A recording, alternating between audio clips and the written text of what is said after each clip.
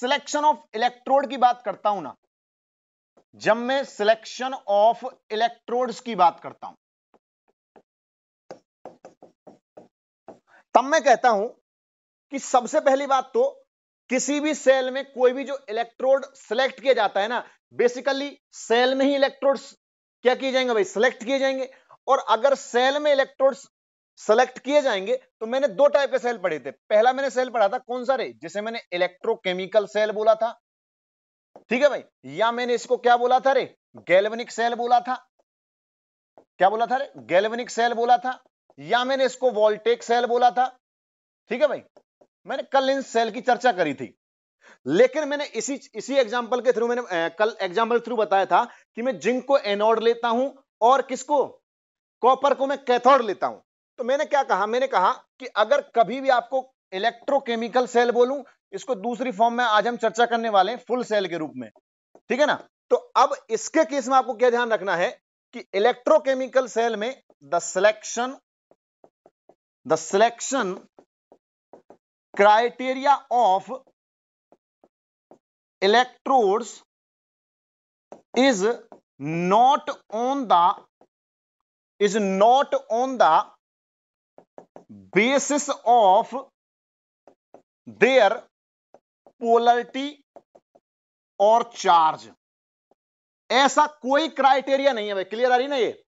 देखिए, जो selection criteria electrodes में, वो कोई भी चार्ज या पोलरिटी नहीं है। वो कोई भी चार्ज या पोलरिटी के बेस पे मैंने ऐसा नहीं कहा था, मैंने ऐसा नहीं कहा था, मैंने ऐसा नहीं कहा था मैंने ऐसा नहीं कहा था कि ये जो मैंने दो कल डब्बे लिए और मैंने, माने चलिए, मैंने यहाँ पे क्या, मैं सिंपल एनोड को डिफाइन कर रहा हूँ रे।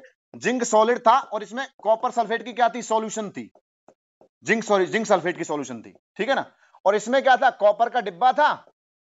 कॉपर का इलेक्ट्रोड था और कॉपर इस डिब्बे में कौन थी इस डिब्बे में कॉपर सल्फेट की क्या थी? सॉल्यूशन थी। लेकिन याद करो, कल मैंने एक ट्रिक बताई थी R R C P R मतलब राइट में ठीक है आर मतलब रिडक्शन सी मतलब कैथोड ठीक है भाई? और पी मतलब पॉजिटिव ठीक है ना? तो मैंने कहा था कि हम नेक्स्ट लेक्चर में इसकी चर्चा करेंगे। तो ये ध्यान रखना कि मैंने इसको पॉजिटिव डिफाइन किया या मैंने इसके, इस एनोड को नेगेटिव डिफाइन किया। इस एनोड को नेगेटिव या इस कैथोड को पॉजिटिव मैंने चार्ज या पोलरिटी के बेसिस पर मैंने एनोड या कैथोड डिफाइन नहीं किए। अब बात आती है तो किसके बेसिस पर ऐसे क्या सिलेक्शन क्राइटेरिया थे? तो ध्यान रखना, यहाँ पे मैं कंटिन्यू कर रहा हूँ रे। देख भाई, जब मैं कहता हूँ कि मैंने कल एक चर्चा करी थी कि स्टैंडर्ड रिडक्शन पोटेंशियल था, क्या था रे? स्टैंडर्ड इलेक्ट्रोड पोटेंशियल था और उसको हम दो टर्म में मैंने कल बताया था कि स्टैंडर्ड इलेक्ट्रोड पोटेंशियल को हम दो टर्म में पढ़ते हैं।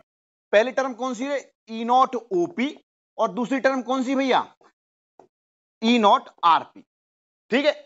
तो सीधी सी बात यह है कि अगर मुझे कभी भी इलेक्ट्रोकेमिकल सेल में पूछने लगे कि मैं एनोड कैथोड कैसे डिसाइड करूँगा तो ध्यान रखना, वो हमेशा किसके बेसिस पर डिसाइड किए जाते हैं रे? या तो स्टैंडर्ड किसकी? स्टैंडर्ड रिडक्शन पोटेंशियल की वैल्यू पर। स्टैंडर्ड रिडक्शन पोटेंशियल की वैल्यू पर। और या फिर स्टैंडर्ड ऑक्सीडेशन पोटेंशियल वैल्यू पर। बात समझ में आई नहीं आई? इसका मतलब अगर मैं कहूँ कि मैं स्टैंडर्ड रिडक्शन पोटेंशियल की वैल्यू के ऊपर क्या कर रहा हूँ? डिसाइड कर रहा हूँ किसको? Selection criteria of electrode in the galvanic cell तो मैं कहूँगा, जिसका रिडक्शन पोटेंशियल ज़्यादा तो मैंने कल बताया था, उसकी इलेक्ट्रॉन गेन करने की टेंडेंसी ज़्यादा। और अगर उसकी इलेक्ट्रॉन गेन करने की टेंडेंसी ज़्यादा, इसका मतलब उसको मैंने कल क्या नाम दिया था भैया? उसी को मैंने कल कैथोड नाम दिया था। और यही कहानी कल यहाँ पे हो भी रही थी कि कॉपर टू पॉजिटिव दो इलेक्ट्रॉन खा के कॉपर सॉलिड में जाता था। और यही कहानी यहाँ पे हो भी रही थी कि जिंक सॉलिड दो इलेक्ट्रॉन निकालता था, जिनको ये कॉपर खाता था। इसी प्रोसेस को मैंने एनोड पे डिफाइन किया था और इसी प्रोसेस को मैंने कैथोड पे डिफाइन किया था। अगर यहाँ तक सब कुछ क्लियर है तो एक बार नोट डाउन कर लेंगे।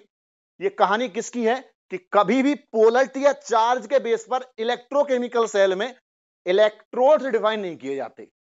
किसके बेसिस पर किए जाते हैं?